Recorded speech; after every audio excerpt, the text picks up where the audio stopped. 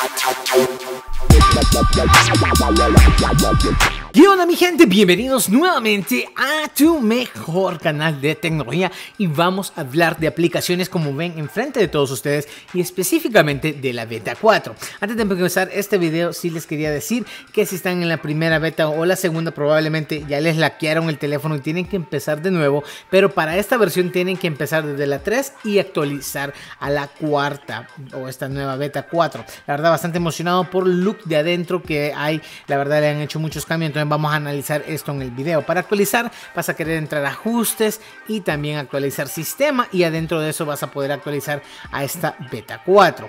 Entonces una de las cosas que la verdad empecé a notar acá, a donde empezaron ya a como que ya va terminando esta beta, es que si nos vamos a lo que es nuestro correo, vamos a notar que en Gmail se nota que el icono ya es azul. Eso significa que ya están agarrando un color más uniforme, que el sistema se vea un poco más limpio, un poco más moderno, es un cambio completo al sistema. Pero el próximo detalle me gustó mucho porque muestra lo que es el potencial de iOS 7. Y ahora nos vamos a ir a nuestro nuestros contactos para demostrarles esta pequeña diferencia que yo había ah, notado. Bueno, aquí si nos vamos a nuestros contactos, vamos a mandar un mensajito a Mariana y le vamos a escribir algo muy sencillo como invitarla a un café o a cualquier cosa. Nos dice, hola, nos vemos el miércoles a las 5.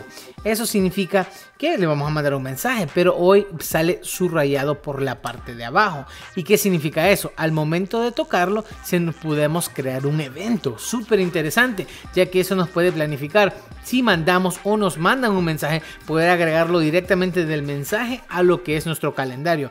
Muy, muy, muy bueno. Me encantó eso. Ahora nos vamos a la función de la cámara, que es algo que también ha cambiado bastante.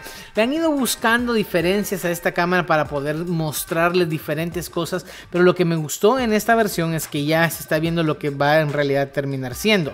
Ahora, anteriormente nuestras fotos de Instagram, Facebook y Twitter todas son cuadradas, que es un square, pero ahora le han hecho uno por uno, que significa cuadrado. Pero me, gusta porque eso significa que están tomando en consideración nuestras redes sociales y las fotos que tomamos hoy en día. Los filtros también están agregados al iPhone 5. Si están allá afuera, tienen un iPhone 4 y lo acaban ah, de actualizar a este beta 4S. Entonces avísenos si ya está. Muy muy bueno, también me encantó eso. Ahora vámonos a otra opción que va a ser en este nuevo iOS 7 que va a ser AirDrop. Eso nos permite transferir información de un dispositivo a otro producto Mac.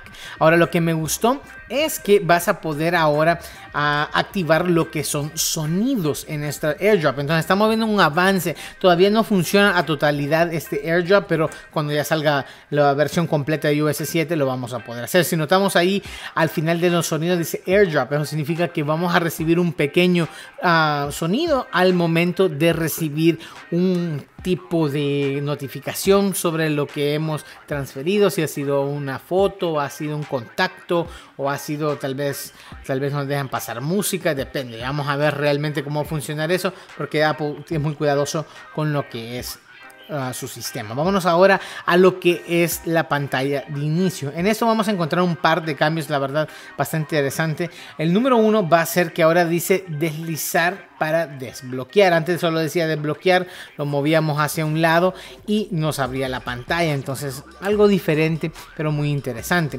Otra cosa que vamos a notar es que, como vieron ahí, levantamos la cámara, pero ahora hay un punto que nos indica que hay un menú arriba y abajo. Entonces, si vemos por la parte de arriba, podemos ir viendo que podemos ir destapando estos menús para arriba o para abajo. Entonces que sí hay algo ahí, que es algo muy interesante que estamos notando pequeños cambios, no son la gran cosa, pero que sí le están testando a detalle todas esas cosas. Hoy en nuestras notificaciones vamos a encontrar hoy todo y no visto, que nos va a notificar de cualquier cosa perdida. Le han cambiado el nombre algunas cosas ahí.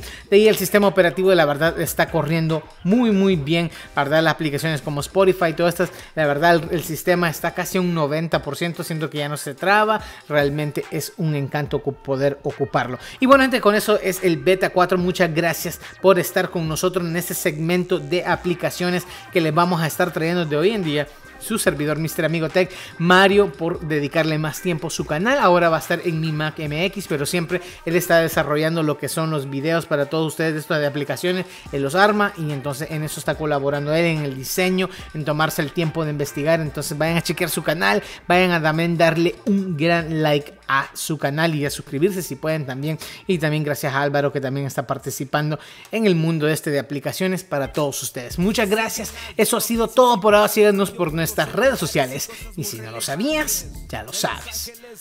Bye. Hey, ¿te gustó el video de apps? Dale click a los botoncitos de abajo si quieres ver más de Android o de iOS. Y también no se te olvides suscribirte. En Facebook agregar todo México, Argentina, Colombia o El Salvador. Todos prepárense ya porque llega el gran señor.